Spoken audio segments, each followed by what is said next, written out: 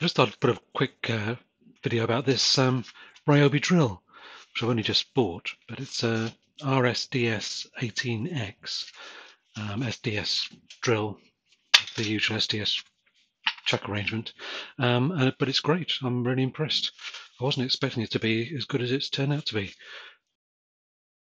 So it has the three settings with this uh, selector dial, chisel only, which is what I'm using right now, uh, hammer, hammer drill, and drill, and it works fine. I mean, it's, it's running now currently with a just the old, really old uh, one and a half. Is it one and a half? One point two? I can't remember. Um, watt hour. Yeah, sorry, 1.4. So, so, so the minute it's running with this 1.4 amp hour battery, which is pathetic, really. It says really old one, but even that just works fine. I've got other batteries, of course, including the uh, some of the five amp ones, five amp hour ones, but uh, but this has been running for what 10, 15 minutes now, and it's fine.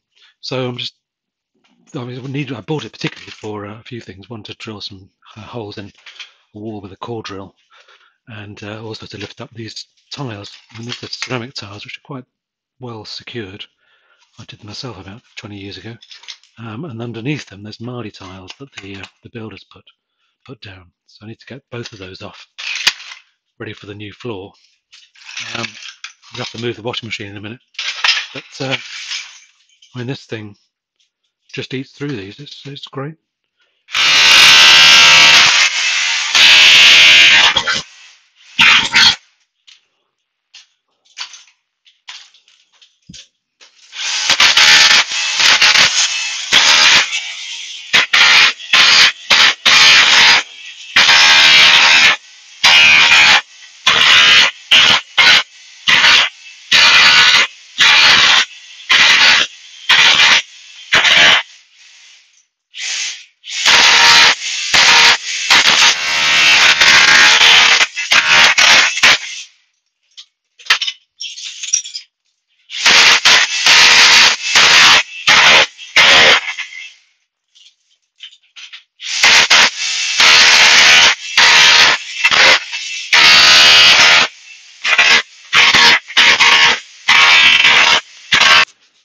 So I've moved the uh, wash machine out of the way.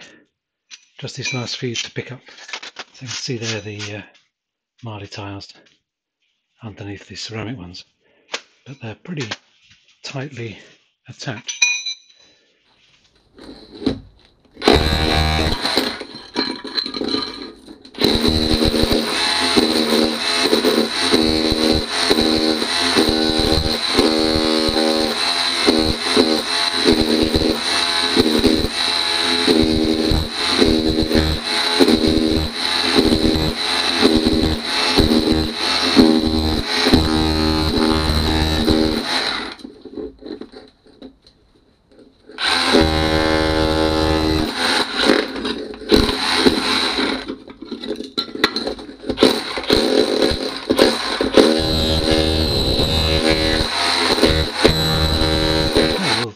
Job done.